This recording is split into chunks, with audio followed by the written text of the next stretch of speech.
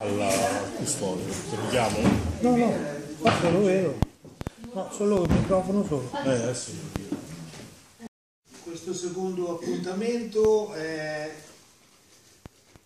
del- della, nostra, della nostra mh, serie di incontri che stiamo facendo appunto qui alla biblioteca eh, di, di Macerata. Ehm, volevo essere volutamente polemico, Letizia, perché eh, stasera, adesso come sono portato, abbiamo fatto dei, dei comunicati su- sulla stampa e, e la il nostro comunicato sta- è, è stato messo sotto alle notizie dalla provincia, eh, ma ancora non è apparso nella prima parte, parlo di, non faccio nomi, cronache mageratesi, e mentre sono apparse le notizie la più grande eh, fa- falla falena a Lions bar, eh, oppure rubato un PC in un bar eh, questa notte. Queste sono le notizie che pubblicano, invece le nostre manifestazioni eh, vengono, eh, io penso a questo punto, volutamente censurate e quindi mi, mi dispiace, ma dobbiamo prendere atto di, questa- di questo non possiamo fare. Vabbè, chiusa questa polemica eh, dovuta, ecco, ehm, sono, eh, faccio, porto gli auguri al nostro relatore da parte del nuovo fiduciario della nostra condotta che purtroppo stasera c'è la chiusura delle campagne elettorali e lui è impegnato nella campagna elettorale nei, comuni oltre che alle europee a Monte San Giusto e quindi non eh, se ne scusa ma eh, essendo un candidato è l'ultimo giorno e lo, lo assolviamo da questo impegno. Eh, mm, e quindi ecco, mm, la prossima settimana eh, sarà l'ultimo dei nostri appuntamenti, eh, appunto eh, eh, con eh, il, eh, il codice P, il paesaggio, eh, i quadri di Leonardo della Gioconda con gli scenari del nostro eh, territorio e che quindi lega questi tre, eh, queste tre conferenze appunto su- sul paesaggio. Oggi eh, ci rincontriamo con Luca eh, Martinelli che eh, appunto eh, è uno eh, dei, del coordinamento nazionale del forum per la salvaguardia del paesaggio nazionale al quale anche noi come condotta aderiamo eh, a cui appunto aderisce tutta una serie, eh, è un coordinamento, quindi non c'è una struttura gerarchica, ma serve soltanto, eh, vi consiglio appunto di andare a vedere anche il, il sito perché è fonte giornaliera di aggiornamenti e di notizie molto, molto interessanti da questo punto di vista.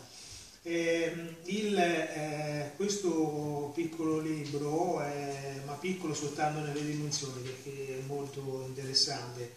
eh, il modo appunto anche di Luca, ma penso è una scelta editoriale, no? quella di, di fare questi tipi di, eh, di- di libri molto veloci, ma eh, che non tolgono nulla al rigore nell'in- nell'informare e nel dare conto appunto de- delle tematiche eh, che stanno dietro a questi,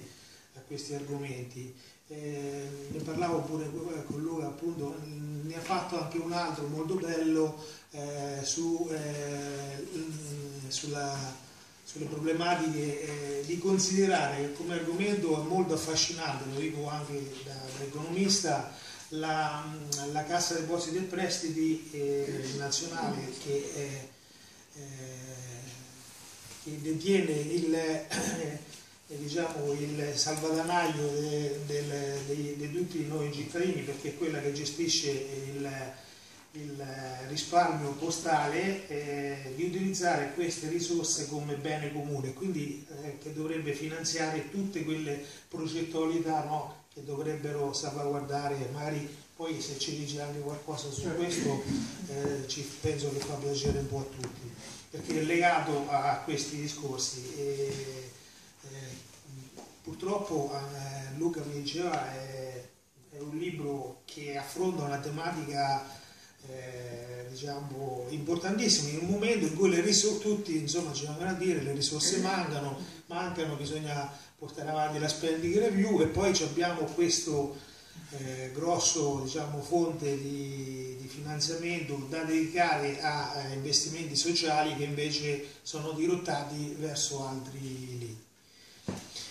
Eh, dicevo, la, questo libro invece su Salviamo il paesaggio, manuali per i cittadini e comitati, come difendere il nostro territorio da cemento e grandi opere inutili. Mm, Luca è venuto già da noi due anni fa, abbiamo presentato un altro suo libro del genere, di questo su, eh, appunto sulla cementificazione, eccetera, quindi una tematica che ci sta molto a cuore. Purtroppo rispetto a quel, a quel momento le cose nella nostra provincia eh, non è che sono migliorate, anzi sono peggiorate, eh, l'abbiamo discusso anche a cena, il discorso del biogas, eh,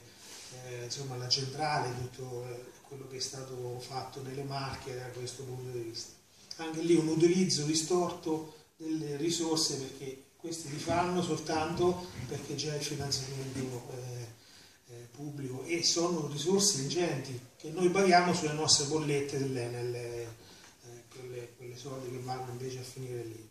Eh, la legge è stata resa anticostituzionale, eh, quindi è stata stoppata la legge regionale, eh, sono sotto eh, indagine della magistratura tutti i funzionari pubblici regionali che si dicono avevano un, una, una, un interesse in queste eh, aziende che, fatto, che sta, hanno costruito le centrali a biogas, tra cui una nella vallata del Chieti. Dicevo, invece tornando a questo libro molto bello e c'è una, eh, ci riguarda molto da vicino come slow food perché eh, appunto c'è una, eh, una, bellissima introduzione di Carlo Pedrini che io ho, ho, aggiunto nella mail list, quindi già eh, chi è qui qualcuno già la conosce, quindi che inizia e poi magari passo la parola a te eh, Luca. Eh, volevo partire appunto dalle prime righe, negli anni 50, poco dopo la seconda guerra mondiale, il poeta Andrea Zanzotto, scomparso non da molto tempo, ebbe a scrivere Dopo i campi di sterminio stiamo assistendo allo sterminio dei campi. Penso è una, una frase che come eh, venerdì abbiamo parlato con, di Donino Guerra che riesce con la poesia a sintetizzare queste cose molto più efficacemente di tante parole. Quindi anche questo ti cedo la parola. Eh, allora, intanto buonasera a tutti e grazie per, per, per l'invito a tornare a Corridonia, a Macerata, a affrontare i temi legati al, al paesaggio. Prendo spunto dalle, dalle tue parole per dire che 60 anni dopo Andrea Zanzotto in, in Veneto tutto continua a, a seguire la linea che lui aveva descritto o che riusciva a cogliere in maniera così eh, emotivamente empatica in, quelle, in, quel verso, in quei versi.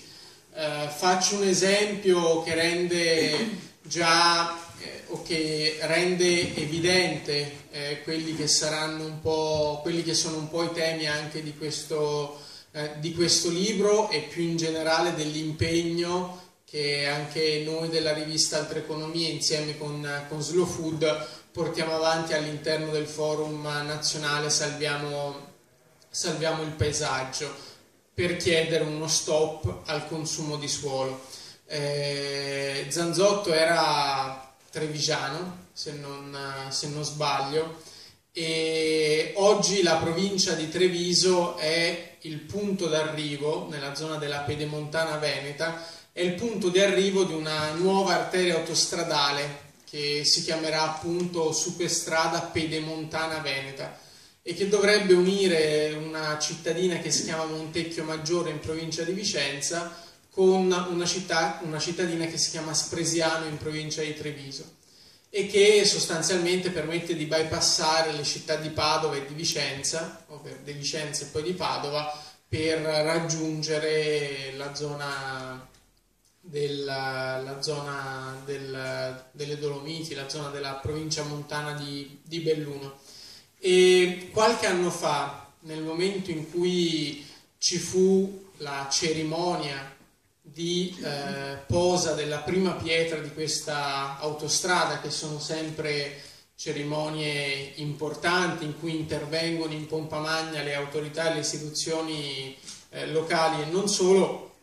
la Regione Veneto diffuse un comunicato stampa. Di quel comunicato stampa che riportava anche i numeri dell'opera, a me colpirono due dati.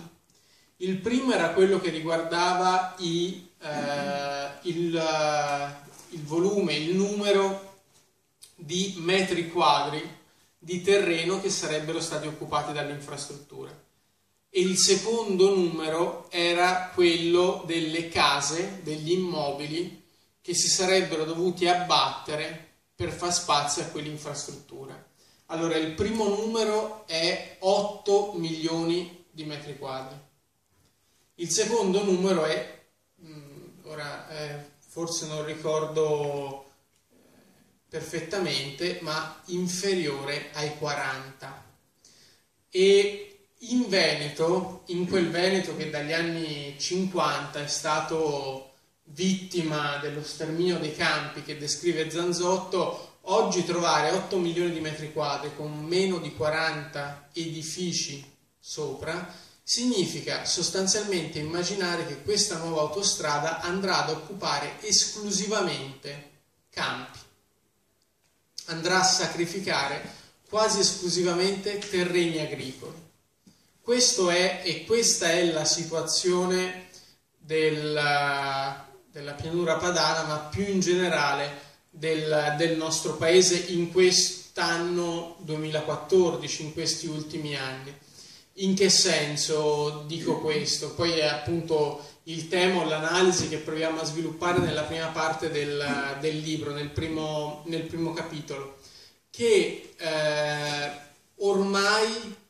in Italia è diventato quasi nella gran parte del paese non si costruisce più.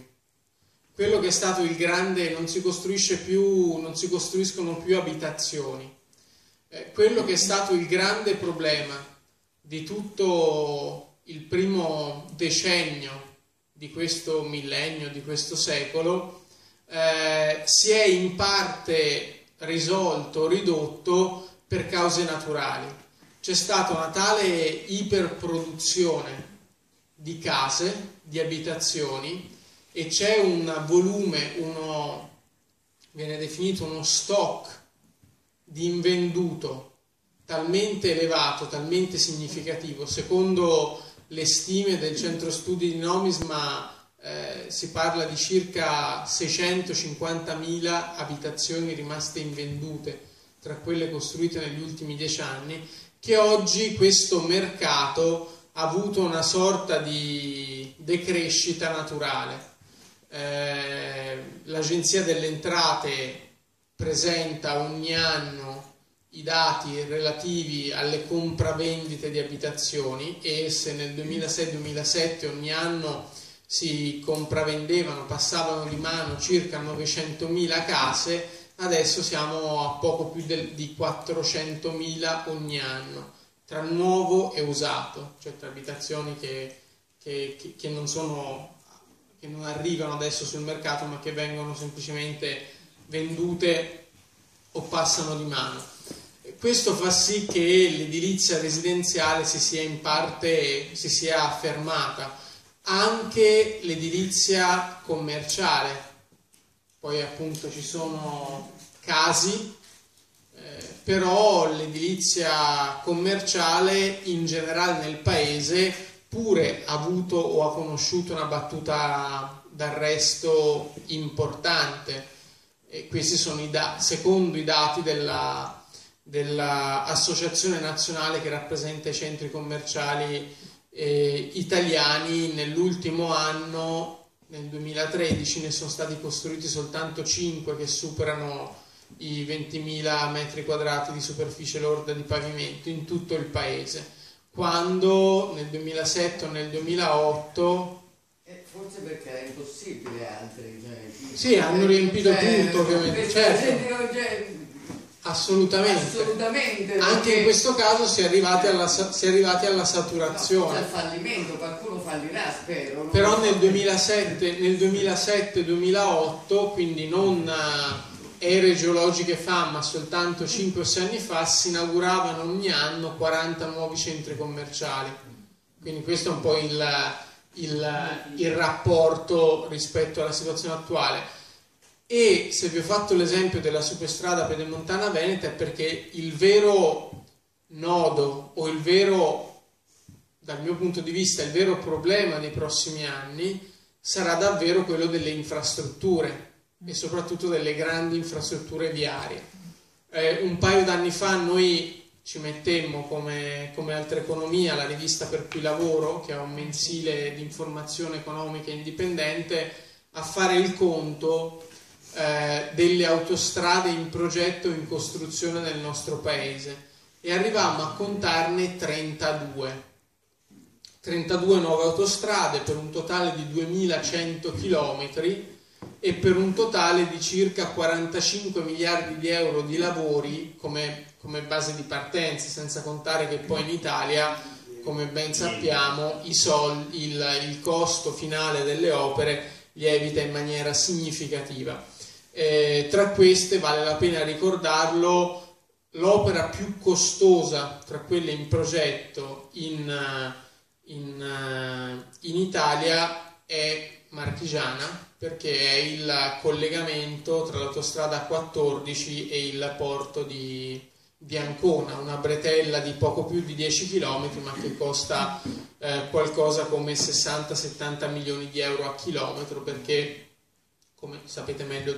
di me perché siete marchigiani è quasi tutta in, in galleria quindi ha ovviamente un costo, una- un costo maggiore il problema delle grandi infrastrutture si pone anche perché nel corso degli ultimi anni il, eh, l'interesse del governo, in particolare durante il, il- il periodo in cui il, paese è stato guidato da Mario Monti, che aveva scelto come ministro delle infrastrutture e come vice ministro delle infrastrutture due persone che avevano legami significativi con, eh, io la chiamo l'industria delle autostrade, cioè Corrado Passera e Mario Ciaccia, che nelle loro precedenti funzioni di amministratore delegato di Intesa San Paolo e di amministratore della Banca Infrastrutture, Innovazione e Sviluppo del gruppo Intesa San Paolo avevano, eh, diciamo così, erano degli attori importanti del, del- del settore autostradale, sia come azionisti di concessionarie autostradali, sia come banca che erogava finanziamenti per la realizzazione di questi interventi. Passera e Ciaccia sono riusciti durante il loro breve mandato a far approvare una legge che pone eh, o che dà la possibilità di garantire eh, bonus fiscali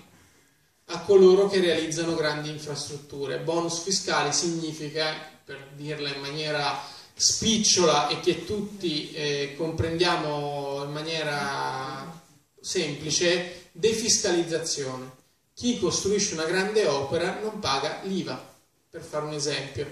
Questo è un paradosso perché se pensiamo a un tema che credo sia di interesse comune, il trasporto pubblico regionale, il trasporto ferroviario regionale ad esempio, nel momento in cui ogni regione italiana, compresa la regione Marche, fa un contratto con Trenitalia, che è un'azienda pubblica di proprietà del Ministero, per definire il numero dei treni che vengono garantiti ogni anno ai pendolari marchigiani, cioè a coloro che fruiscono del treno tutti i giorni sulle linee regionali, su quel contratto di servizio tra due soggetti pubblici si paga un IVA del 10%. Quindi a livello nazionale i contratti di servizio delle ferrovie valgono 1,8 miliardi di euro, 165 milioni sono soldi di carta, appunto di quest'IVA di 10% sul contratto. Non si discute, cioè non mi pare di averlo visto nell'agenda del governo, la defiscalizzazione, ad esempio, dei contratti di servizio sul trasporto ferroviario regionale, però si pensa di defiscalizzare le grandi opere. Per dare un'idea dell'entità di, questo, di questa tipologia di intervento, in questo momento si sta pensando la defiscalizzazione della eh, del progetto di autostrada che dovrebbe collegare Orte a Mestre, Orte, provincia di, di Viterbo, regione Lazio, Mestre, eh, provincia di Venezia, regione Veneto, sono 400 km di autostrada, lasciamo stare quello che sarebbe l'impatto ambientale, nel senso che sarebbe lunghissima la descrizione dei siti di interesse comunitario intercettati, delle aree, di, delle aree a parco lambite, eh, delle riserve naturali attraversate dalla, dall'autostrada, per concentrarci soltanto su un aspetto. Questo intervento costerebbe circa 10 miliardi di euro e lo sconto fiscale, cioè le entrate cui lo Stato rinuncia per permettere di realizzare questa autostrada sarebbero circa 1,8 miliardi di euro.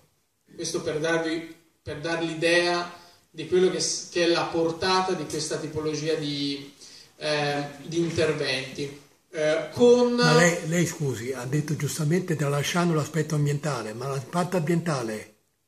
Sì, sì, no, l'aspetto ambientale costo allora, spaventoso due... perché tutti i ponti, le autos, le, le, i viadotti, i, i tunnel in, impattano sull'ambiente in maniera vuole, spaventosa. Sì, sì, sì, no, se, se, vuole, guardi, allora... È un penso, costo spaventoso per la penso, per, per... penso che tuttora... Ma perché anche rinunciare ai soldi fa delle cose? Roviniamo certo, tutto e rinunciamo pure certo. ai soldi. Penso, guardi, a, ad oggi penso di essere stato l'unico giornalista che ha avuto il permesso, proprio, per quanto noi siamo appunto una rivista piccola, indipendente, a differenza delle grandi corazzate dei media, il mio direttore qualche anno fa mi ha dato la possibilità e l'opportunità di prendermi tre giorni per realizzare eh, o per attraversare tutti i territori percorsi che sarebbero appunto tagliati dalla Orte Mestre per documentare quello che andremmo a perdere. Io eh, ci ho messo tre giorni, mi sono preso tre giorni, sono partito da Mestre e ho attraversato uno per uno tutti i territori impattati, quindi se volete io faccio anche l'elenco di tutti i siti WWF, zone di protezione speciale, siti di interesse comunitario che verrebbero compromessi dalla uh, autostrada tra Orte, tra Orte, e Mestre. Questo anche per dire che ovviamente non è una cosa che io tralascio, ma in questo momento semplicemente davo quell'indicazione che anche, diciamo così, eh, ovviamente la, la nostra rivista ha una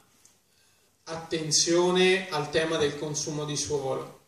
ha un'attenzione ai temi ambientali, ma anche se ci volessimo porre in un'ottica completamente diversa, cioè quella del, del, liberista che prende una decisione semplicemente perché dal punto di vista del, di vista del, del, Corrado Passera che andava a presentare questo progetto in, in, in, Parlamento, qui si tratta di garantire 10 miliardi di euro di appalti, perché questa è l'unica cosa che conta. Anche a fronte, diciamo così, se anche ci mettessimo in questa in quest'ottica, io trovo appunto rilevante la criticità per quale motivo, come giustamente riconosceva la signora, dobbiamo rinunciare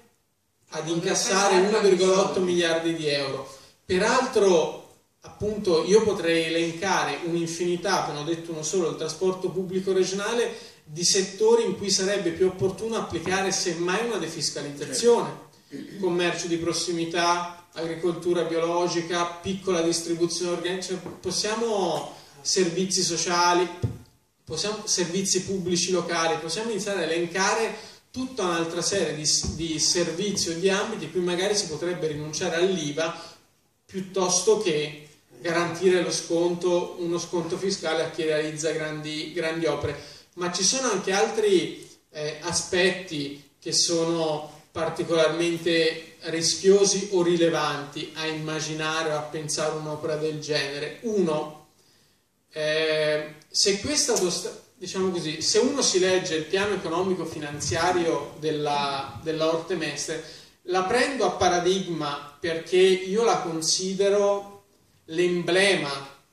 di un paese che non ha assolutamente fantasia, perché siamo nel 2014 e non possiamo immaginare lo sviluppo come negli anni 50 quando si pensò all'autostrada del sole. Io della Orte Mestre parlo come, come se fosse l'autostrada del sole del XXI secolo, perché vorrebbe, secondo l'idea dei promotori, avere lo stesso effetto, effetto impatto per l'economia del nostro, del nostro, paese. E ci sono altri due aspetti che sono eh, significativi e chiamano in causa tutta un'altra sfera o um, tutta un'altra serie di, di aspetti problematici. Il primo, eh, perché questa autostrada sia sostenibile dal punto di vista del piano economico finanziario che è stato presentato, eh, il traffico della, sulla, sulla, sulla, sulla stessa dovrebbe aumentare, secondo il piano economico finanziario, del 25% tra il 2022 l'anno in cui secondo il cronoprogramma l'autostrada dovrebbe essere pronta e il 2033. Ora, se noi immaginiamo ancora che il traffico privato su gomma cresca dopo il 2022 e fino al 2033, beh stasera ci salutiamo, noi ci siamo visti due volte nella nostra vita, però probabilmente non ci vedremo più perché stiamo andando verso l'autodistruzione della, della vita e della storia, perché se, se dobbiamo continuare a immaginare che tutto si svolga sul trasporto su gomma e su una mobilità fondata sul, sul, sul trasporto, sull'utilizzo privato, di mezzi privati, non, non, non andiamo avanti. Primo aspetto. Secondo aspetto che pure riguarda tutti noi come cittadini è che secondo il piano economico finanziario gran parte delle risorse per realizzare questo intervento dovrebbero arrivare dalle banche private. Ci sono due scenari che vengono presentati in quel piano economico finanziario. Uno ci dice che le banche private ci mettono 4 miliardi e mezzo di euro, uno ci dice che le banche private ci mettono 5 miliardi e mezzo di euro. E qui la riflessione che, fa, che dobbiamo fare non è semplicemente ma non c'è un modo migliore di spendere quei soldi, non ci sono altri settori dell'economia che potrebbero avere, ottenere quelle risorse. Questo è un lato, è una, un aspetto. C'è un altro ben più grave e, ed è il riscontro, o è un riscontro che eh, è evidente guardando la realtà dei fatti, cioè la realtà degli ultimi anni. Negli ultimi anni sono partiti già dei cantieri di grandi opere autostradali, ad esempio in Lombardia per le autostrade che dovrebbero essere, servire alla, realizza- alla eh, piena realizzazione, al pieno successo di Expo dell'esposizione universale del, 2000, del, del prossimo anno, del 2015, però a un certo punto ci si è resi conto, a un certo punto si è dovuto fare i conti con il fatto che queste fantomatiche banche private i soldi non li hanno messi. I soldi non li hanno messi probabilmente perché i numeri, ovvero i dati del, dei piani economici e finanziari magari non erano totalmente credibili, soprattutto quelli legati al traffico stimato e quindi agli incassi per i pedaggi e alla fine in Lombardia almeno si è fatto così si è andato a bussare al pubblico. Quindi le due autostrade che si stanno realizzando in questo momento, che sono la Bre-Beni, Brescia-Bergamo-Milano, e la TEM, tangenziale est-esterna di Milano, sono state finanziate dalla Banca Europea degli Investimenti, che è una banca pubblica dell'Unione Europea, e da Cassa Depositi e Prestiti soggetto cui faceva prima riferimento Fabio, a cui insieme a, a un'altra persona che si chiama Antonio Tricarico ho dedicato un, un, altro livello delle dimensioni di questo che si chiama la posta in gioco. E è grave immaginare che le risorse, che anche le risorse del risparmio postale dei cittadini italiani, perché Cassa Depositi e Prestiti, che è controllata all'80% dal Ministero del Tesoro, usa e gestisce le risorse del risparmio postale dei cittadini italiani, cioè tutti i soldi che noi depositiamo su un libretto postale o investiamo nei buoni fruttiferi postali, utilizzi queste risorse per costruire autostrade. E investono i soldi in Alitalia. Quelli in Alitalia è l'unica, è l'unica operazione a cui hanno detto di no. Non ci hanno le poste, Ah, le poste, ma CDP no. Cassa Depositi e Prestiti non ha accettato di entrare in capitale di Alitalia. Però utilizzano i nostri soldi con... Uh, in, Beh, per... Forse è per quello che loro non vuole pagare l'IVA, perché tanto già non la devo pagare io. non lo so. Però eh, per fare un altro esempio che, che, che anche caro e vicino alla cultura di, eh, di slow food e che è legato sempre ai temi del consumo di suolo e di eh, cassa depositi e prestiti, lo scorso anno CDP stava trattando l'ingresso in una società che costruisce e gestisce centri commerciali. Eh, la società è quella che gestisce centri commerciali a marchio Iper e supermercati a marchio Unes e con un investimento di 100 milioni di euro. 100 milioni, 100 milioni di euro investiti nella, nei centri commerciali io definirei investiti nella filiera agroalimentare perché alla fine un centro commerciale è qualcosa che impone una determinata organizzazione di tutta la filiera agroalimentare. Allora uno potrebbe immaginare in un, in un altro paese che magari alcuni di noi potrebbero, possono, vogliono auspicare, che questi 100 milioni di euro potrebbero essere presi, spacchettati in 100 fondi da un milione di euro e investiti uno per ogni provincia italiana per sostenere, dare gambe ai progetti di filiera corta, di piccola distribuzione organizzata, di mercati locali e territoriali. Spesso, questo ad esempio è una, diciamo così, l'osservatorio della rivista Altra Economia noi ci permette di incontrare, intercettare molte storie di questo tipo in tutto il paese, spesso ci rendiamo conto, o spesso i nostri interlocutori ci spiegano che a un certo punto lo scoglio diventa proprio quello di una minima organizzazione logistica, della capacità di eh, organizzare la distribuzione in maniera tale che non tutti i produttori debbano anche occuparsi della distribuzione, perché soprattutto i piccoli produttori, i piccoli agricoltori che, che devono lavorare nei loro terreni e nei loro, nelle loro aziende agricole non hanno tempo per eh, lavorare in maniera efficace anche su queste fasi. Immaginiamo o immaginiamo che cosa potrebbe significare dare a queste ai territori dove queste esperienze si stanno formando la possibilità di investire un milione di euro, perché poi non si tratta di prestiti, o almeno non si trattava di un prestito, ma di investimenti per sviluppare determinati settori. E credo che proprio il, il tema o il, il, nodo fondamentale sia proprio quello della, della fantasia, cioè dell'incapacità da parte di coloro che, che ci governano continuare, se effettivamente continuano, a pagare un contributo maggiorato di iscrizione alla Camera per finanziare la realizzazione della quadrilatero in cambio di promesse future di sviluppo legate al raddoppio di questa infrastruttura, perché quando negli anni scorsi venne siglato il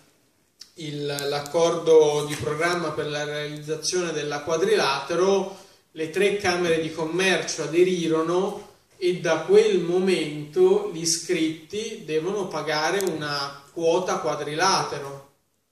E per il momento non credo che tutti i benefici di questo intervento si eh, possano eh, godere, tanto che appunto mi pare che l'anno scorso o nei primi mesi di, di quest'anno il governo ha dovuto stanziare nuove risorse pubbliche per finanziare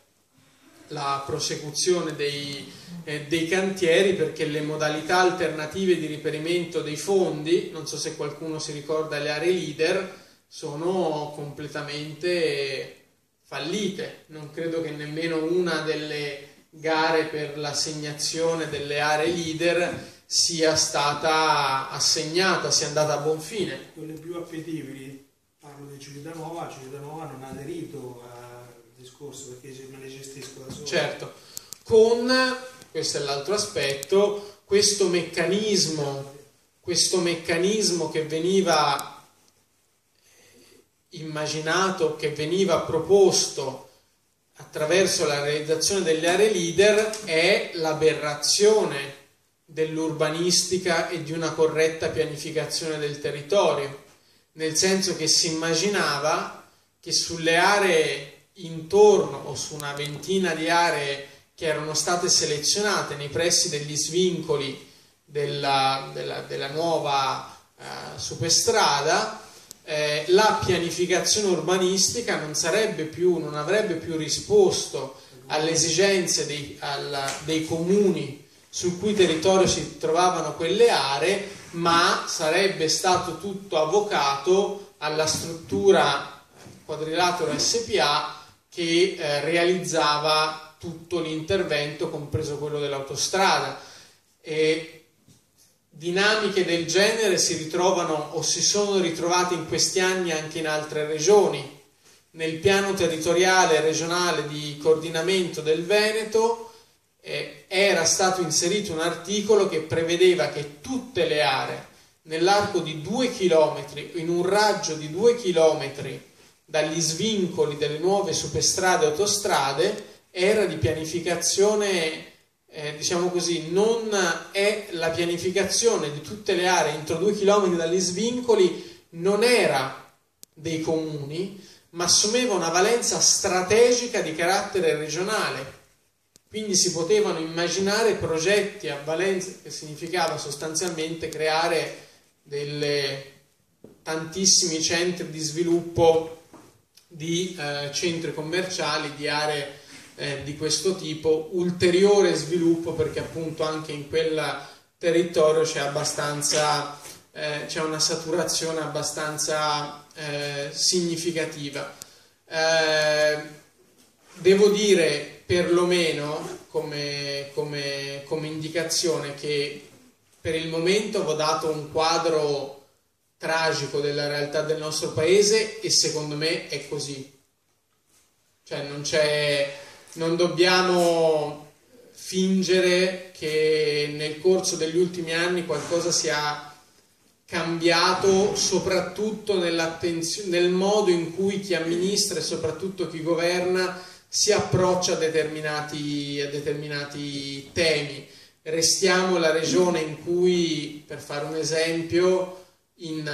restiamo il paese in cui in 10 regioni su 20 si cava senza avere un piano delle attività estrattive. Restiamo il paese in cui qualsiasi tipo di intervento si debba far passare in maniera, eh, diciamo così, privilegiata, lo si inserisce all'interno della legge obiettivo, la famosa legge figlia di quella sera in cui Berlusconi andò da Bruno Vespa a disegnare delle cose su una mappa dell'Italia, si trasformò in una legge sulle opere strategiche che è stata approvata a fine 2001 e che se anche la volessimo considerare efficace effettiva per il nostro paese, dal 2001 al 2013 si è realizzato appena il 10% delle opere che stanno, eh, stanno all'interno di questa legge, quindi o non sono strategiche le opere o la legge è un totale eh, fallimento. Eh, negli ultimi anni però appunto nonostante eh, appunto il quadro continui a essere tragico qualcosa è cambiato. Da una parte è il mercato che indica una direzione. E per darvi un esempio molti comuni si trovano nella situazione di dover restituire gli oneri di urbanizzazione incassati negli anni precedenti. Cioè nel momento in cui io autorizzo la costruzione, la realizzazione di un intervento, io mi faccio anticipare gli oneri di urbanizzazione dall'impresa che ha chiesto il permesso, ha ottenuto il permesso a costruire. Gli oneri di urbanizzazione che peraltro in buona parte del paese vengono utilizzati non per realizzare effettivamente le opere di urbanizzazione, ma in virtù di una, di una disposizione di legge introdotta durante, credo, un governo amato 2000 quando ministro era Franco Bassanini, eh, questi oneri di urbanizzazione sono spostati sulla parte corrente del bilancio. Quindi molti comuni hanno finito con l'utilizzare negli ultimi 12 anni il territorio come se fosse un bancomat, quando c'era bisogno di liquidità. Ma adesso questo meccanismo viene meno e molti comuni devono restituire in sede di bilancio consuntivo oneri di urbanizzazione anticipati negli anni precedenti da imprese che poi rinunciano a costruire. E diventa probabilmente un gioco che non vale più la candela perché restituire dei soldi quando li hai già incassati e magari anche spesi per garantire servizi ai cittadini è assai difficile, assai, diventa assai pericoloso e pericoloso per la tenuta del bilancio, del bilancio comunale. E che qualcosa è cambiato senz'altro lo dimostra anche l'impegno che si è portato avanti con il forum Salviamo il Paesaggio che è nato due anni e mezzo fa a fine ottobre del 2011 e, e che in questi anni ha o è riuscito a portare avanti un, portare avanti un, un, un impegno significativo, un impegno propositivo anche nei confronti delle, delle istituzioni sui temi del, del, paesaggio. Diciamo è riuscito a far entrare anche con l'aiuto di, di firme autorevoli come, come, quella di Carlin Petrini, che ovviamente quando, viene, quando parla o quando scrive viene recepito in maniera diversa, ad esempio di un Luca Martinelli qualsiasi, e siamo riusciti a portare questo tema al centro dell'agenda della politica. A livello nazionale ad oggi ci sono una dozzina di leggi che trattano del tema del consumo di suolo, eh, tra proposte di legge di iniziativa parlamentare, disegni di legge di iniziativa governativa. Ovviamente nessuno di questi testi è perfetto, tutti sono perfettibili, però è un dato di fatto che due anni fa se noi avessimo guardato allo stesso dato, ovvero il numero di disegni di legge che affrontavano in Parlamento il tema del consumo di suolo, il dato era zero. E qualche mese fa anche a livello di anche l'Unione Europea ha riconosciuto che il suolo è una risorsa non rinnovabile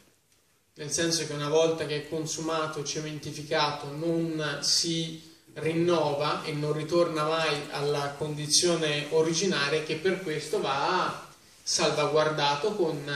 con, con attenzione. Nel nostro paese immaginare leggi su, per la tutela di un,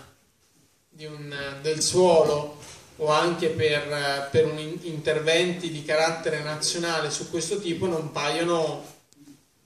non paiono appunto nel, nel, nel, nelle corde o non sono, par- non sono eh, entrati nelle corde del, del, di chi ci ha governato per, per, anni, tanto che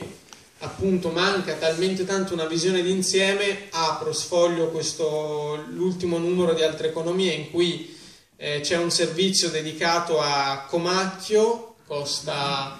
eh, Romagnola, mh, mm,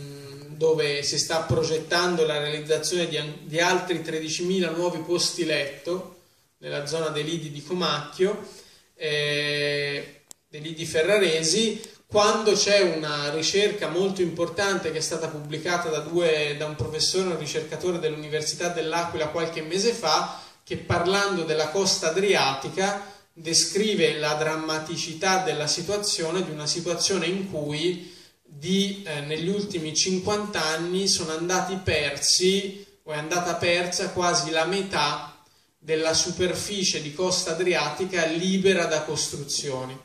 Questo cosa significa? Che la costa adriatica da, dalla punta del Friuli Venezia Giulia a Santa Maria di Leuca è lunga 1472 km, negli anni 50 944 km erano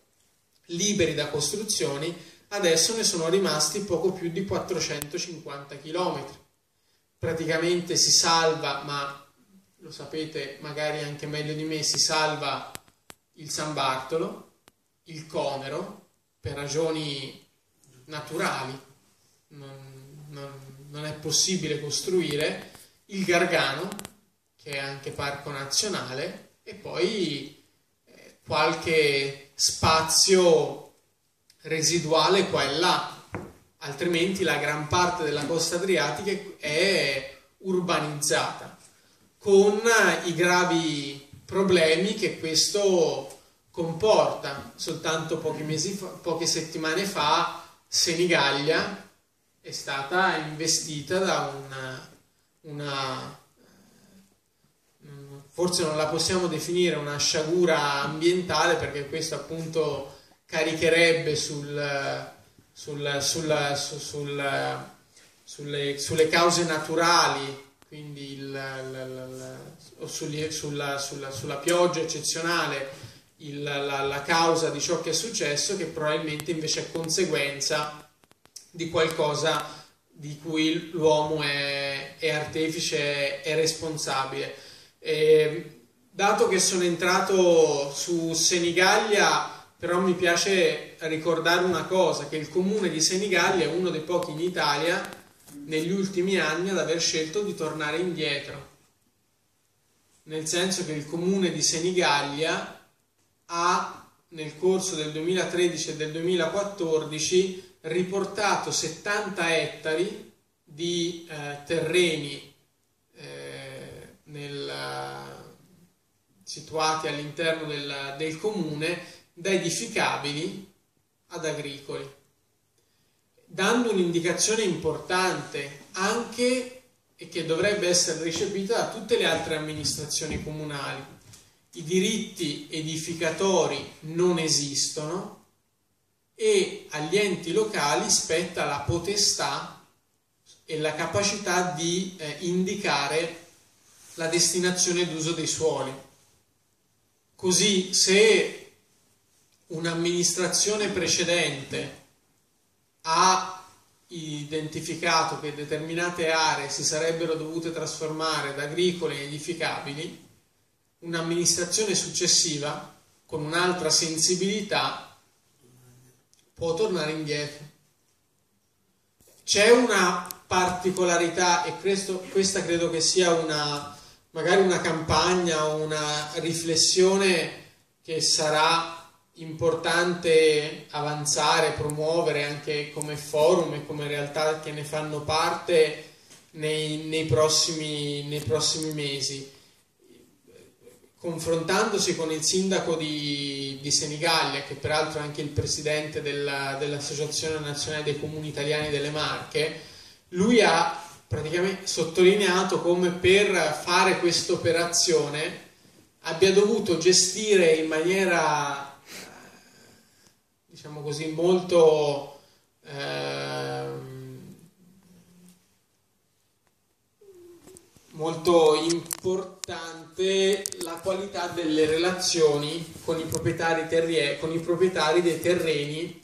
di cui si andava a variare la destinazione d'uso. Praticamente tutti i proprietari sono stati chiamati uno per uno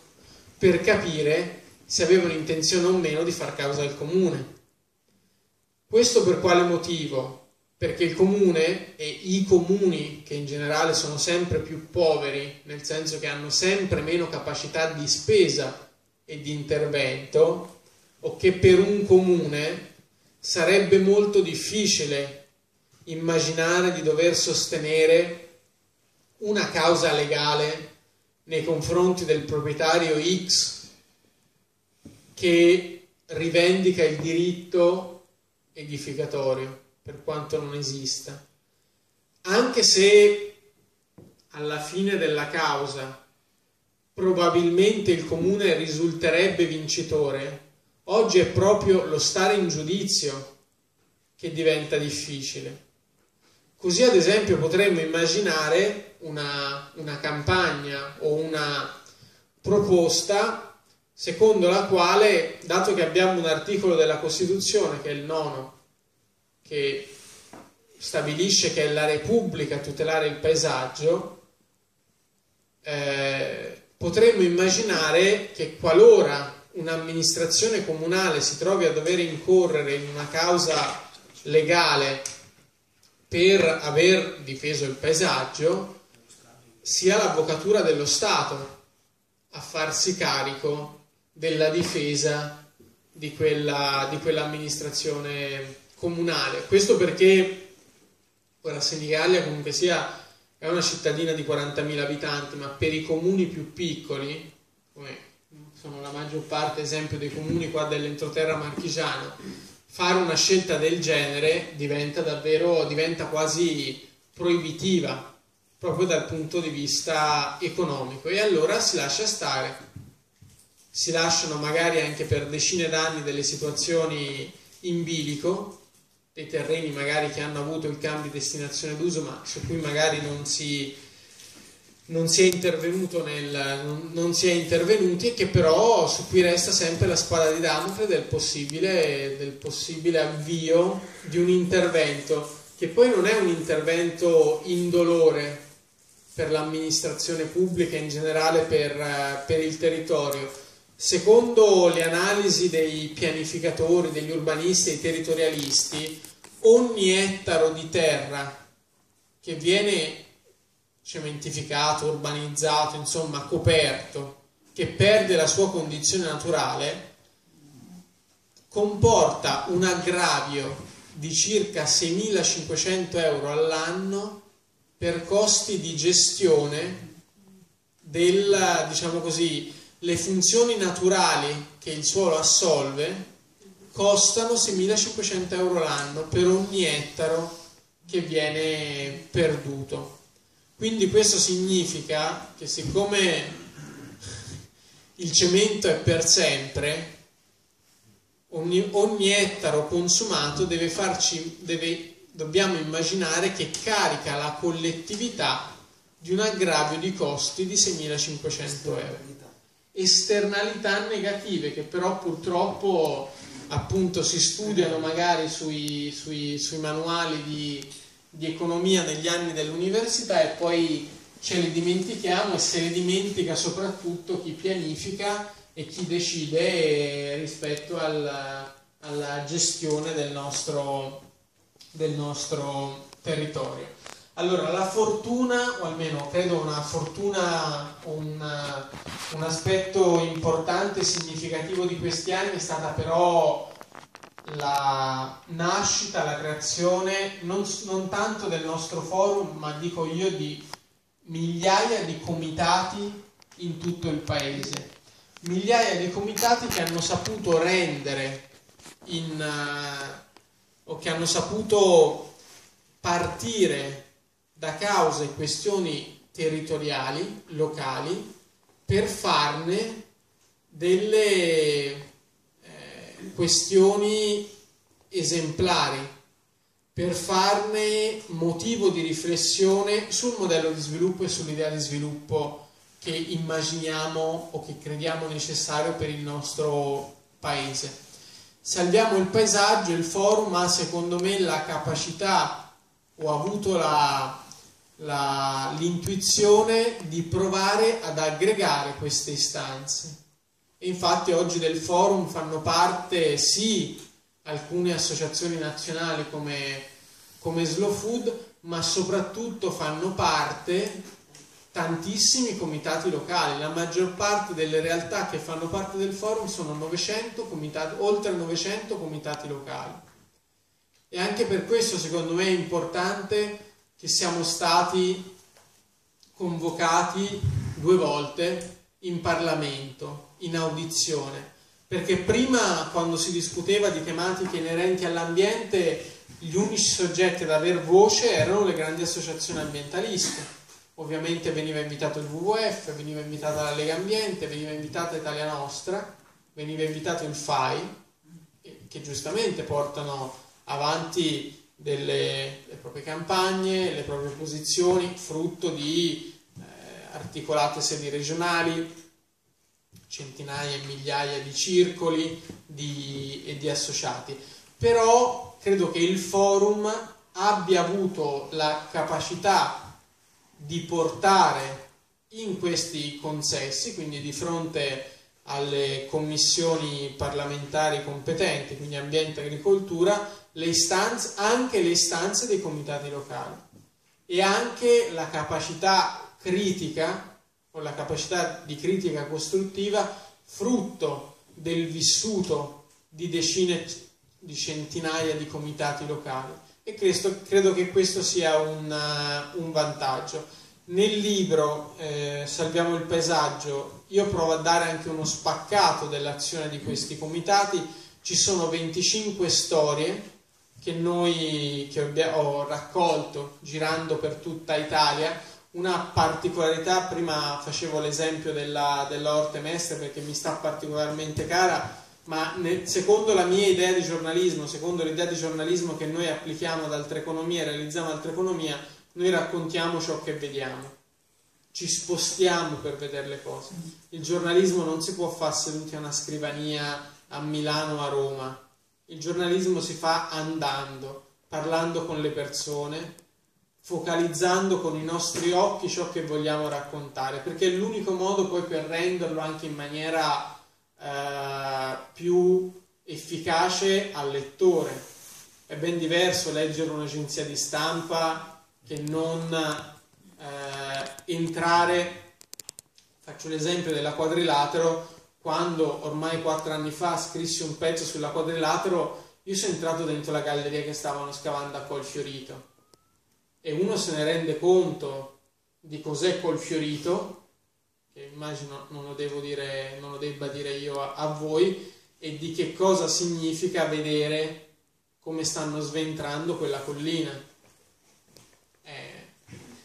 e credo che questo si, si, si, renda meglio anche all'interno di un, di un articolo quando l'hai visto che non semplicemente immaginando quello che stava succedendo appunto sulle montagne che, che dividono le Marche dalla, dall'Umbria. E in questo, in questo libro noi abbiamo provato a sistematizzare l'azione dei comitati in una sorta di decalogo di azioni, perché credo, dieci parole chiave, perché io credo che salvare il paesaggio si fa in tanti modi e per fare rapidamente l'esempio di due, di due, cose che magari uno potrebbe immaginare no ma non è sono particolari no? non sono azioni dirompenti e tutela del paesaggio vi leggo anche tutto vi leggo il decalogo mappare, informare, riutilizzare simboleggiare, manifestare ripensare, tutelare, presidiare, giustapporre, aggregare. Vi, vi faccio due, due, esempi. Uno eh, sul riutilizzare. Noi lo scorso anno come forum abbiamo deciso a maggio del 2013 di fare la nostra assemblea nazionale a Bologna all'interno di, di uno spazio, di una ex fabbrica che è stata occupata per essere riutilizzata come spazio sociale e culturale da parte di un'associazione, un movimento, una rete di associazioni bolognesi che si occupa del riuso temporaneo degli spazi.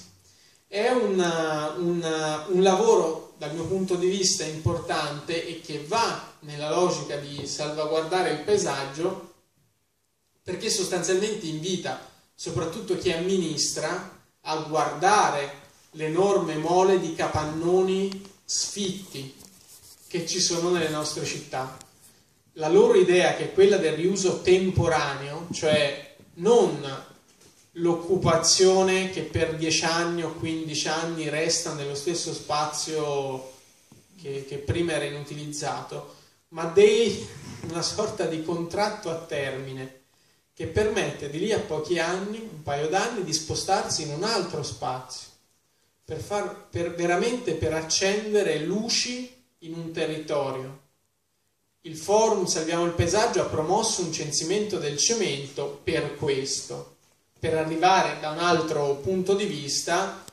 a far sì che i comuni si rendessero conto che c'è molto costruito e abbandonato, molto che è stato costruito e lasciato completamente andare in stato di abbandono e che prima di costruire del nuovo sarebbe buona cosa, buona e giusta, riutilizzare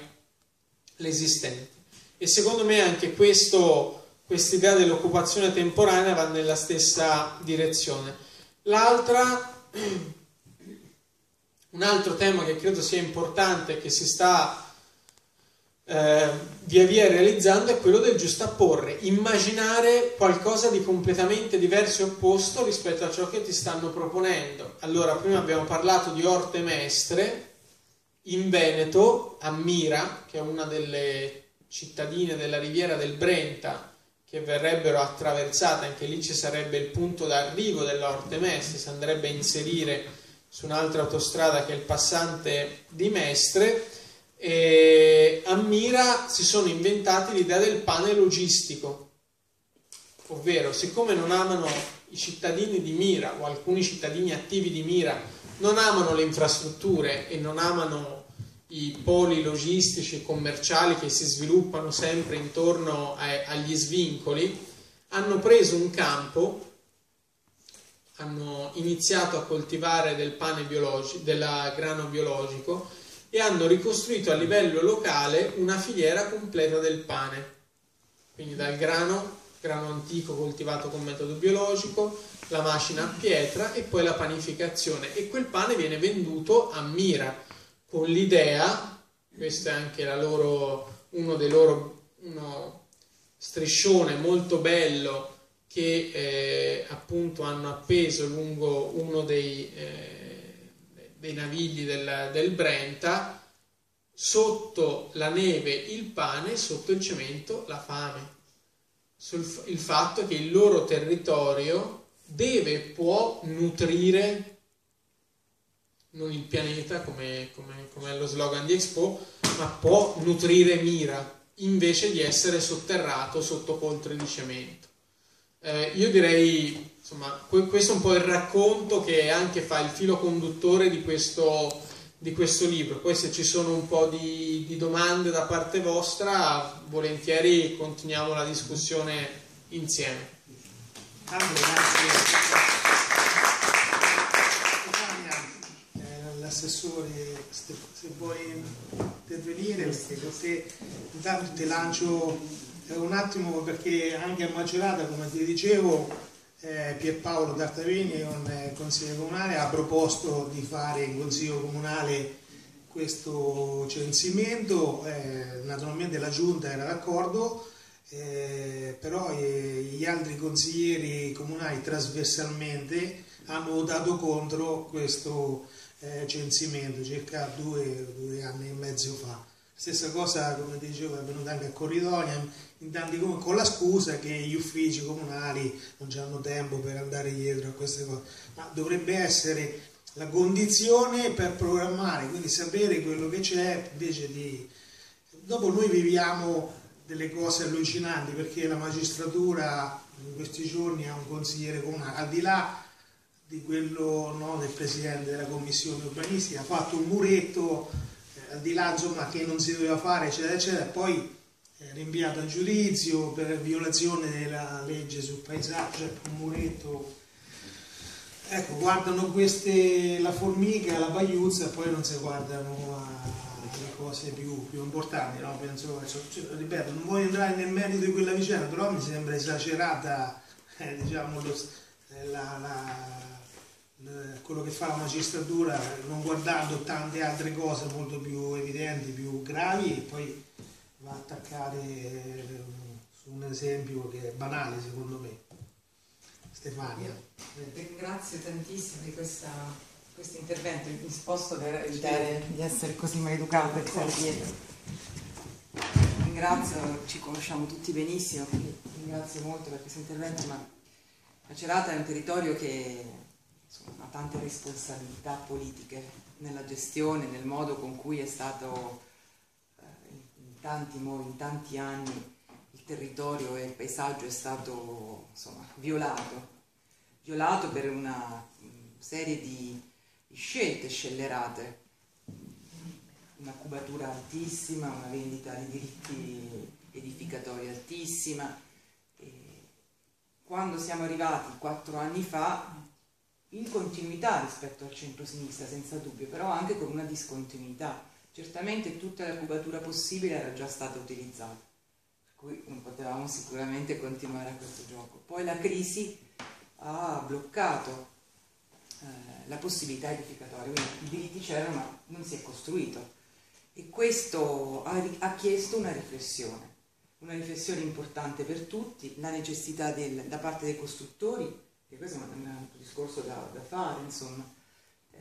la, la, non poter costruire e la richiesta dunque di, oh, di restituire cubatura, per esempio, abbiamo posto anche queste condizioni, di eh, non pagare gli oneri oppure di eh, nel tempo, insomma si è aperta tutta una discussione nuova sul paesaggio, che è stata una contrattazione che doveva essere funzionale ai lottizzanti, però allo stesso tempo è stata utile per rimettere in discussione quello che era stato fatto in passato. Ed è, ed è stato anche un aspetto molto interessante, perché si è potuto portare, si può portare sul tavolo anche il discorso della restituzione della cubatura. Quella cubatura quindi rimette in discussione il diritto, i diritti edificatori che è vero non esistono, però io conosco bene il sindaco di, di Senigallia. E mettersi in un discorso legale con ogni situazione è complicatissimo, pericolosissimo per un comune. Quindi poter aprire questo è importante. Adesso ci siamo trovati in questa situazione con la possibilità, abbiamo fatto indicatori a, a agrari, insomma la variante inversa, come si dice, ed è un'altra possibilità che stiamo provando a mettere in campo. Non è facile, soprattutto in questo, questo territorio dove sappiamo perfettamente che ha avuto un governo, come prima tu parlavi di Carelli di fatto, del nostro presidente, in realtà la situazione è molto più complessa di quella che appare, anche nelle responsabilità e andranno, vanno assolutamente verificate invece vanno verificate, quella è solo una punta che giustamente deve andare invece andare avanti. Insomma, ci stiamo lavorando, stiamo lavorando su un'idea diversa, ci stiamo provando in tanti modi e non è facile, va assolutamente combattuta. L'esempio che ha portato prima um, Fabio, è vero, in Consiglio Comunale eh, Paolo Tartabini ha proposto di fare censimento, trasversalmente è stato è un segnale di una cultura che deve ancora maturare, deve ancora crescere. La crisi lo, ci può aiutare a crescere, secondo me. Non so se mi sbaglio. No, no, infatti ha contribuito sicuramente. No, no, la, la, senz'altro appunto è quello che dicevo all'inizio, anche magari quando, quando, lei ancora non era arrivata, che effettivamente la crisi ci aiuta dal punto di vista del soprattutto della riflessione intorno al settore residenziale e delle costruzioni, nel senso che oggi eh, su alcune posizioni ci troviamo su eh, punti di vista simili, almeno a parole, ad esempio anche con l'ANCE, cioè con l'Associazione Nazionale dei Costruttori Edili, oppure per dare l'idea di quello che secondo me è un ovvero sul fatto che è importante iniziare a intervenire sul costruito, sulle riqualificazioni, sul, sulle aree dismesse piuttosto che costruire sul nuovo. Questo mi pare che ormai sia un punto quasi assodato, oppure che è una cosa molto, secondo me, significativa che, che si è realizzata nel corso dell'ultimo anno, Salviamo il Paesaggio, il forum è uscito con un documento congiunto insieme con la Fillea, quindi con, eh, con il sindacato della CGL che, che, riunisce tutti i lavoratori del settore dell'edilizia che eh, hanno capito che probabilmente se vogliono continuare a lavorare, non invece continuare a contare l'emorragia di posti di, di lavoro che, che pare inarrestabile negli ultimi anni nel settore dell'edilizia, probabilmente devono essere in grado, dobbiamo tutti insieme essere in grado di far pressione, in questo caso sì per spostare incentivi fiscali ad esempio sulle ristrutturazioni e sulle riqualificazioni, ma anche sulla formazione, perché poi la realtà vera che, di cui ci parla il, la, la segreteria della Fillea è del fatto che sappiamo benissimo che si tratta di un settore estremamente polverizzato, cioè in cui ci sono tantissime aziende unipersonali o, o insomma di, di, aziende che hanno al più uno o due collaboratori e che ovviamente sono soggetti che avrebbero bisogno di un adeguato processo di formazione e di riqualificazione professionale per essere in grado di operare nel nuovo mercato che noi auspichiamo si apre, che è quello delle riqualificazioni, ma appunto per questo, dicevo prima, se da un lato questo aspetto è, eh, diciamo così, ci apre delle prospettive di dialogo e anche un, un futuro magari più roseo, dall'altro bisogna prestare grandissima attenzione al tema delle infrastrutture che è il vero, secondo me, il vero nodo dei prossimi anni, nel senso che si pianificano investimenti per decine di miliardi di euro in infrastrutture pesanti questo significa anche, ed è un dato che anche che le, che le associazioni dei costruttori già evidenziano da tempo, eh, eh, questo comporta dei problemi che, che, anche appunto le associazioni datoriali riconoscono, cioè il fatto che ormai lavora solo il grande. Il vero problema, se uno guarda i dati disaggregati dell'industria delle costruzioni si rende conto che quelli che soffrono la crisi e chiudono sono le piccole e piccolissime imprese, quelle che, che magari tirerebbero su una casa o che lavorano nella ristrutturazione, negli interventi all'interno di un patrimonio, magari di un patrimonio storico come quello de, de, dei centri delle nostre, delle nostre città italiane e in realtà chi sta bene e anzi aumenta il fatturato, aumenta il portafoglio di ordini, sono le grandissime imprese, quelle che lavorano con commesse dai 50 e dai 100 milioni di euro in su. Questi non soffrono la crisi, anzi. E... Ed è grave perché comporta anche tutta una serie di altre problematiche. Eh, affronto un problema che so riguarda qua nelle Marche perché ci ho fatto un un dibattito pochi mesi fa la città di Pesaro, non so se riguarda anche Macerata, e, e riguarda da vicino ad esempio il territorio da cui vengo che è la Lucchesia. Si stanno progettando in tutto il paese decine di nuovi ospedali e tutti questi nuovi ospedali vengono realizzati in regime di project financing, come le, le, le autostrade. Il problema del project financing applicato agli ospedali, per me, è principalmente uno, che nel momento in cui tu eh, fai realizzare l'ospedale al privato, affidandone anche la gestione a questo soggetto privato per rientrare dei soldi dell'investimento, tu ti leghi per 20 o 25 anni anche con un contratto di tu, tu, tu Stato, tu Regione, tu ASL, ti leghi con un contratto d'affitto alla struttura e ai macchinari che sono di proprietà del terzo e eh, noi ora ci troviamo in una situazione in cui c'è una contrazione, ovvero il governo immagina una contrazione della spesa sanitaria. Nel momento in cui noi siamo con, dei, con degli ospedali diciamo, di proprietà dell'ASL, l'ASL può decidere contraggo le spese fisse, gestione, eh, oppure gestione della, della struttura, oppure contraggo le spese, riduco le spese sanitarie, cioè i servizi che garantisco all'utenza e posso decidere di modulare tra queste due tipologie di, di, di di spesa quella cui voglio, su cui voglio intervenire. Nel momento in cui la spesa della struttura è fissa, io ho soltanto uno spazio su cui intervenire, è il servizio, e quindi andrò a ledere ulteriormente il diritto d'accesso alla salute dei miei cittadini, perché non posso andare da, da Fabio, che è chi ha costruito e in gestione il mio ospedale, e dirgli mi riduci il canone del 10% perché ho la spending review e altrimenti dovrei... E lui dice no, io devo rientrare. Il mio piano economico e finanziario dice che io devo prendere questo ogni anno perché altrimenti non, non guadagno a sufficienza, non, non ripago le spese. E allora io, da direttore dell'ASI, mi troverò costretto a dire vabbè, allora intervengo in maniera ancora più drastica sui servizi sanitari. E questo è un problema che, che, si, che, che nel nostro paese c'è in decine di province, in decine di ASL.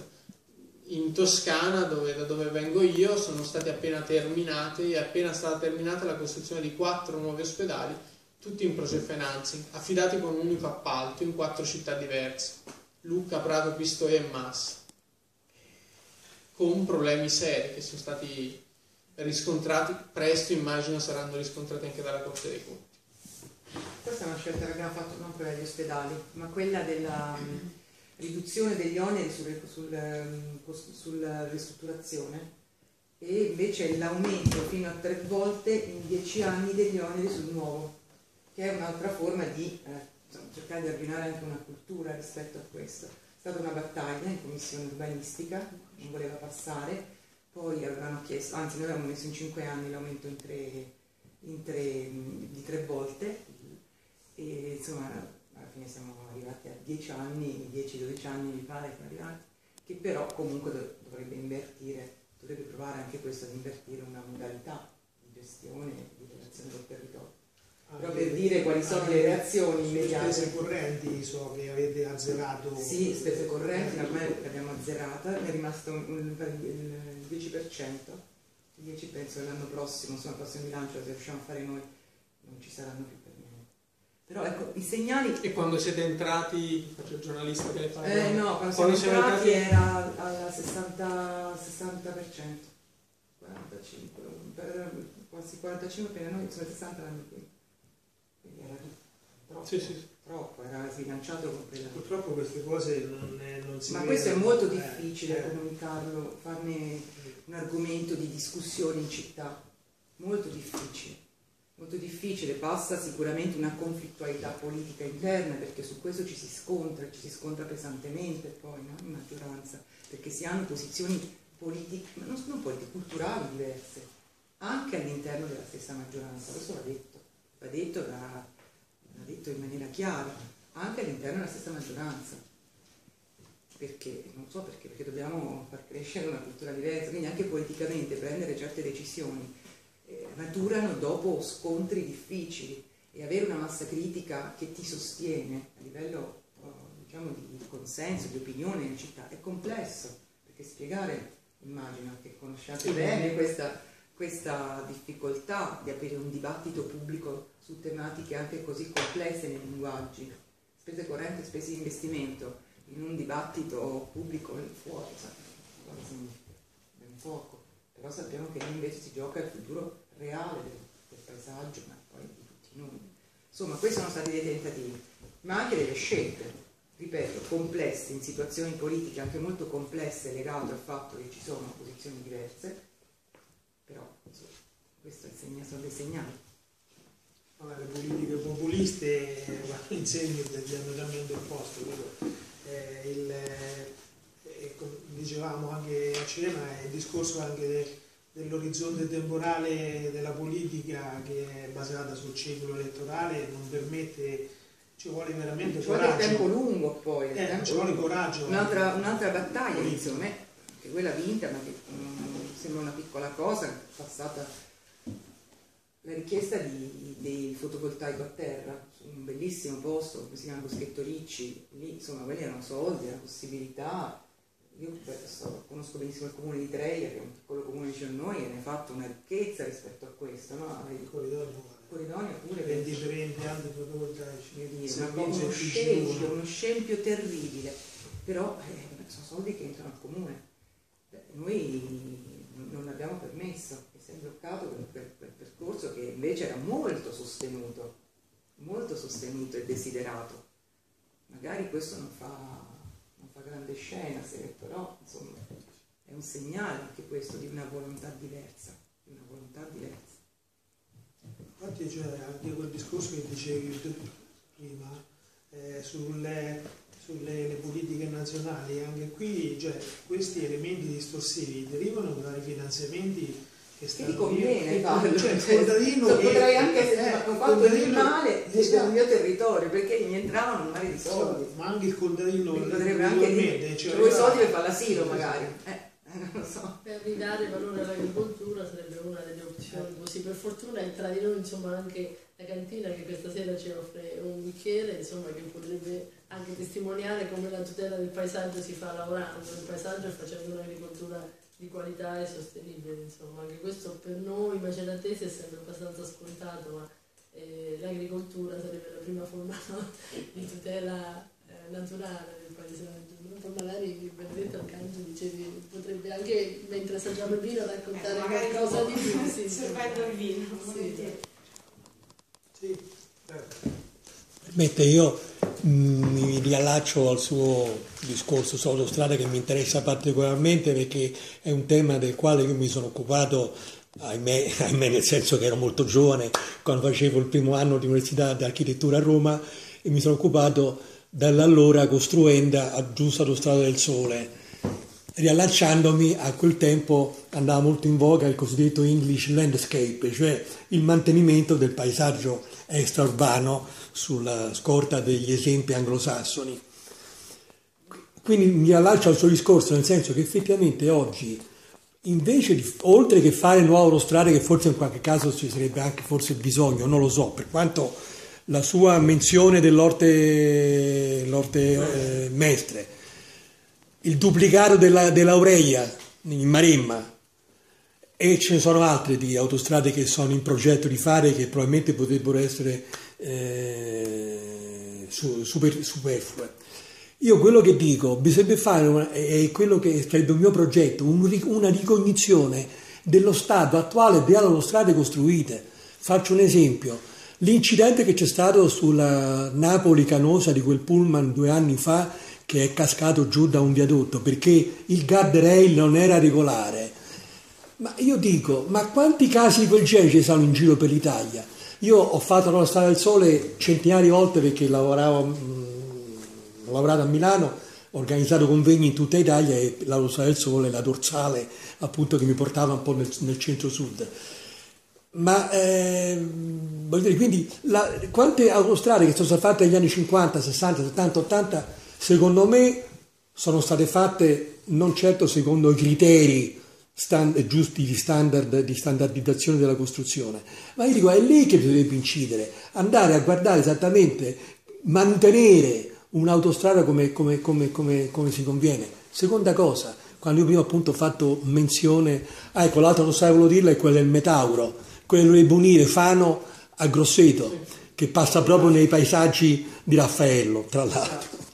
E c'è giusto lì un comitato che cerca di difendere questa... E lì paradossalmente si tende a dire che bisogna fare i venerdì tubi. prossimo di questo. Come? Venerdì prossimo parleremo di questo. Eh, in breve, allora lo ve- vengo sicuramente. E lì paradossalmente si parla de- del fatto che bisognerebbe eh, privilegiare i tunnel in luogo dei viadotti perché col tunnel non si lede quello che è il paesaggio. Chiusa parentesi.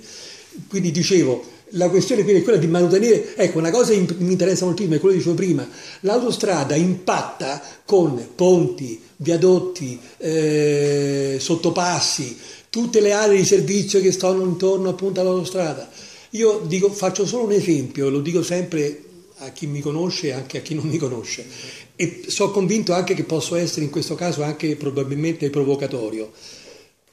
Il ponte che ha fatto Santiago Calatrava a Reggio Emilia, io lo giudico positivamente, lei magari no. Però io dico, a fronte di tanti viadotti fatti esclusivamente col cemento armato o di metallo che a mio avviso mi danno un senso di volta a stomaco, quello lì certamente è un'opera museo, chiamiamola un'opera monumento, che probabilmente impatta sicuramente sul, sul, sul territorio. Però la leggerezza, l'aereità che dà questo, questo, questo ponte è tutta un'altra cosa rispetto agli altri manufatti che veramente, danno veramente un senso di oppressione nel, nel, nel, nel percorrere autostrada. Allora io non dico che bisogna sempre che bisogna chiamare forza le archistar per fare i ponti o i viadotti o che. Io dico perché non diamo il via a un progetto di carattere aperto a tutti quanti, per esempio gli studenti di, di belle arti, di architettura, per rendere vivibile il paesaggio, eh, estetico il paesaggio, io sono malato di estetica, io dico in Italia che abbiamo avuto dei, dei, dei, degli artisti che si sono occupati di estetica e ci hanno lasciato quello che ci hanno lasciato, non possiamo lasciare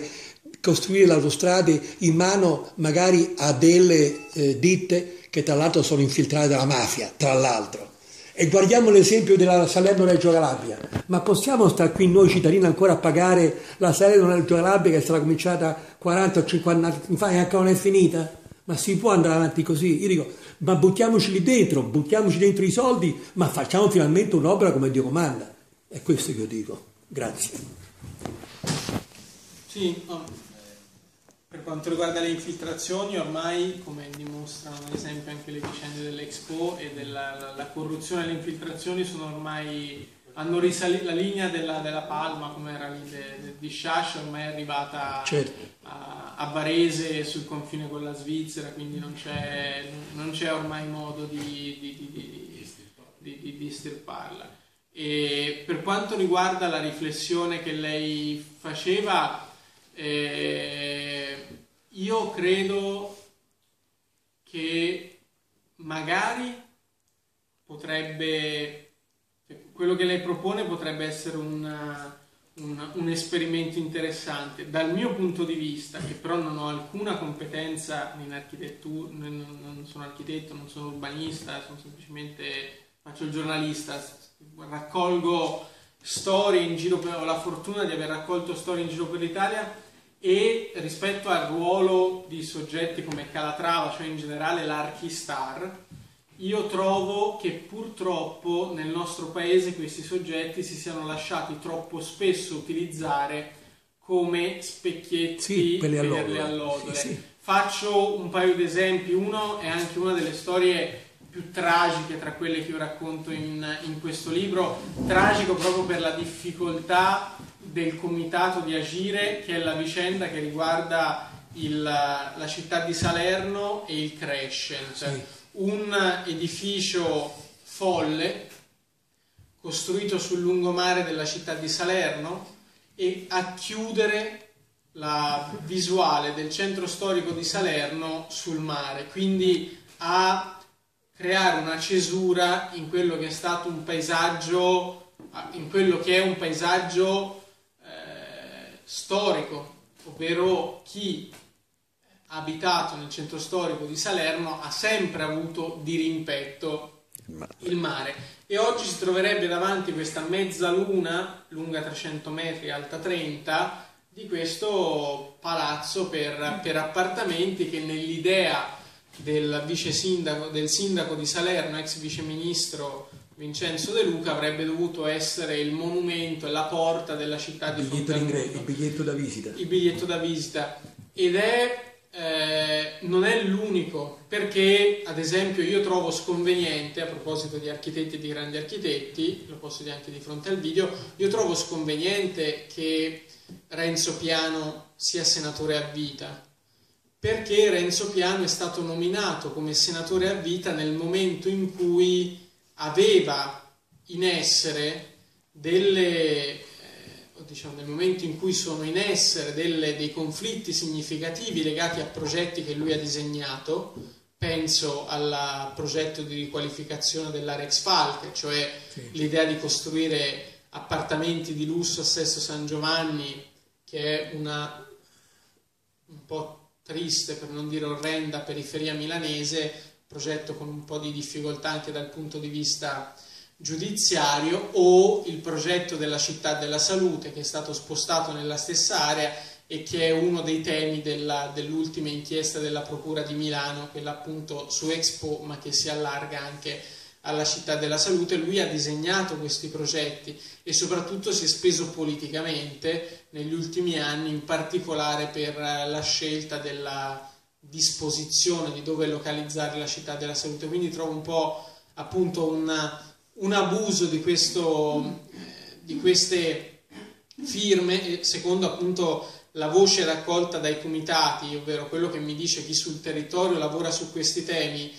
il, spesso il ruolo dell'archistare è anche quello di zittire ogni tipo di protesta. Cioè tu cittadino, chi sei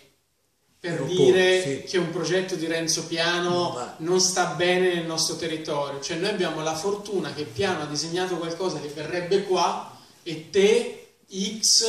eh, mi dici di no. Eh no. O a Salerno la stessa cosa. Certo. E, e quindi questo, que- questo, que- diciamo così, questo ruolo che hanno assunto, secondo me, è un po' probabilmente limita quella visione che poi lei giustamente eh, propone, almeno nel contesto del nostro, del nostro, del nostro paese. Poi ovviamente questo è, un- è il mio punto di vista, limitato al mio punto d'osservazione, però soprattutto mi colpisce questo, che tanti cittadini che lavorano in territori in cui c'è stato appunto il richiamo all'Archistar come, come, come, come, Panacea, una panacea, come espressione, sì, come, come panacea in grado di, di zittire qualsiasi tipo di protesta del territorio perché non ci possiamo mettere contro qui, certo. il, il, il Santone o contro il progetto che viene firmato dal grande, dal grande nome perché tu non sei nessuno, lui è lui. Una domanda e poi una riflessione. Eh, volevo chiedere, mm, secondo, secondo te, come eh, è possibile eh, mantenere economicamente un'opera come la, la quadrilatero, eh, considerato che quello che ci dicevi, eh, non- le- queste aree leader poi non sono andate in porto, è notizia degli ultimi giorni che la quadrilatero dovrebbe intervenire anche qui nel comune di Macerata per realizzare una bretella, una, una ulteriore Eh, alla fine chi paga di queste opere che sono eh, economicamente impattanti in modo, in modo enorme? Eh, la riflessione, che, eh, anche eh, lasciandomi a quello che diceva Stefania, ehm, è vero, eh, eh, c'è stato un consigliere comunale che ha fatto una mozione per, eh, per far eh, fare agli uffici del comune eh, questo immobili sfitti Eh, ed è stata, ed è stata bocciata. Nonostante questo, secondo me, il comune poteva farlo comunque, poteva comunque eh, dare il sindaco a disposizione agli uffici affinché eh, il, il, censimento venisse fatto. Io l'ho mandato io quel censimento, l'ho personalmente io al comune, qualche altro comune della, del- della regione, per esempio Urbino, compilato. Non, non ha fatto tante scene, ma l'ha semplicemente compilato perché è una cosa d'ufficio, non è che ci vogliono tante delibere di consiglio comunale. Questo per dire che se si vuole veramente combattere eh, l'abuso del, del suolo, ci vuole e anche eh, abbattere le resistenze che ci sono e che, eh, che Stefania conosce benissimo, ci vuole veramente una presa di posizione forte che vada eh, al di là di, di- di- di- piccole, piccoli aggiustamenti. Eh, qui nelle Marche c'è eh, una proposta di legge regionale eh, che è molto avanzata eh, di iniziativa popolare è da un anno che è ferma eh, all'interno del Consiglio eh, regionale. La stanno facendo morire in attesa che l'anno prossimo ci siano le elezioni. Un governo di centro-sinistra. Allora, eh, le forze che dovrebbero più o meno avere a cuore certi valori vogliono dare una spinta forte affinché una proposta di legge che tecnicamente è, eh, dicono tutti che sia eh, assai valida, possa avere, eh, che va in- proprio in questa direzione, consumo di suolo zero, zero, una programmazione a livello ehm, sovracomunale, insomma.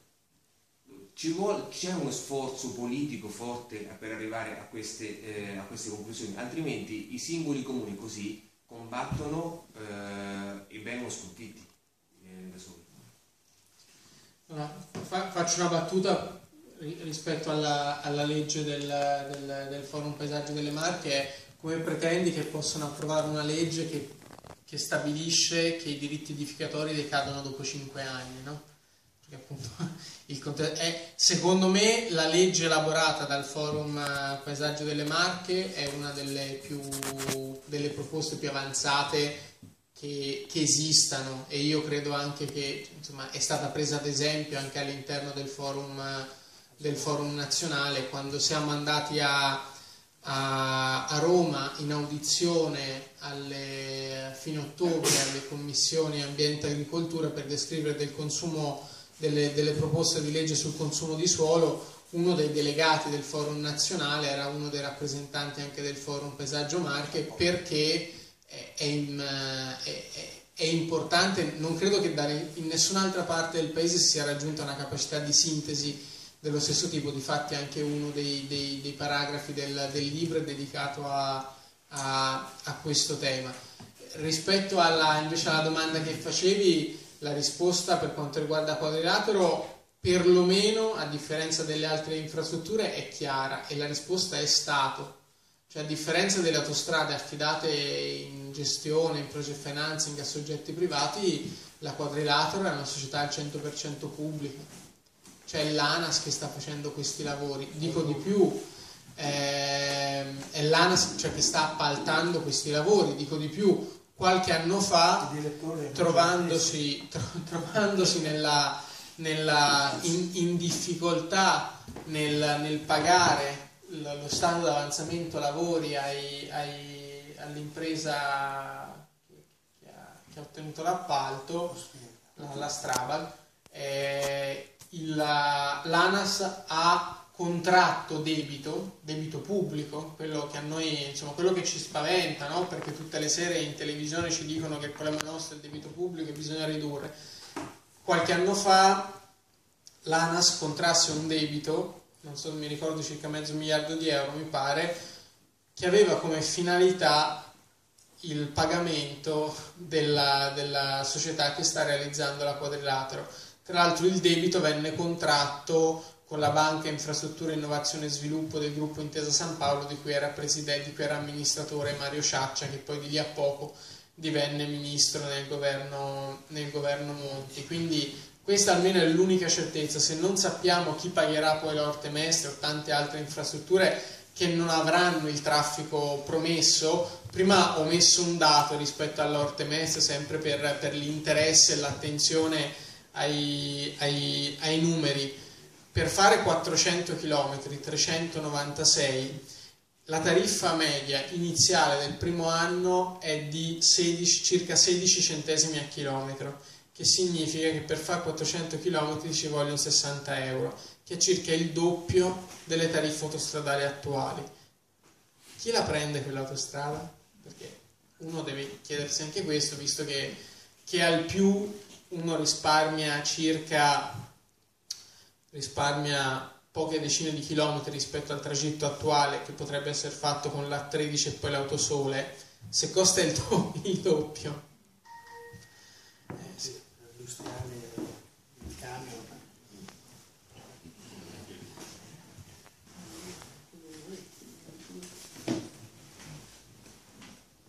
Ci salviamo con un bicchiere Sì, io, io vi ringrazio, io invito chi volesse, qua oltre al libro eh, c'è anche qualche copia di Altra Economia, la rivista per cui lavoro, c'è anche per chi lo volesse, per chi fosse rimasto particolarmente attratto dal modo in cui raccontiamo l'economia in maniera un po' più, insomma, tentando di renderla intellegibile a tutti, la possibilità di abbonarsi alla rivista. Lo dico semplicemente, non perché mi piace fare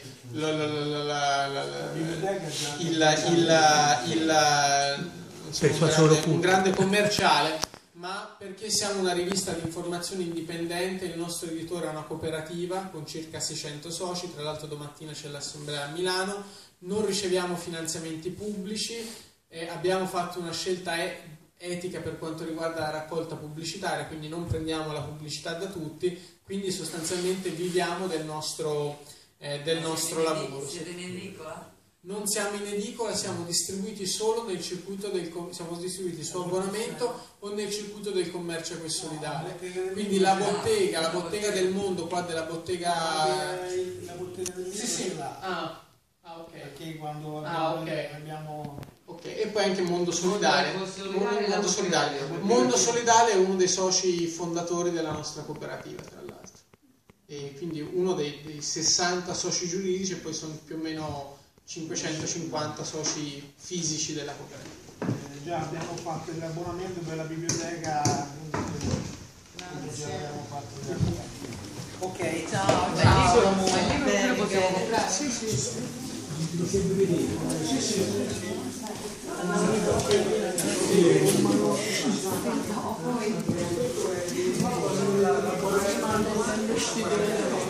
Anche uno è